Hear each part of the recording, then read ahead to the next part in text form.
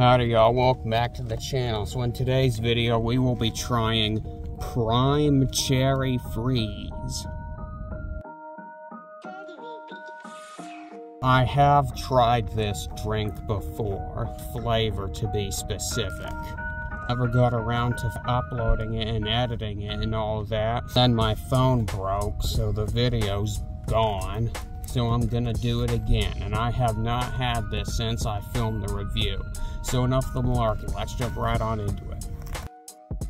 It smells very similar to the ice pop, but let's judge it by its taste. It tastes very similar to the ice pop, but with a bit of cherry in there. I hope so. Okay. I'd say it's about 40 ice pop, 60 cherry. And that's not a bad thing, because the ice pop prime was one of my favorites.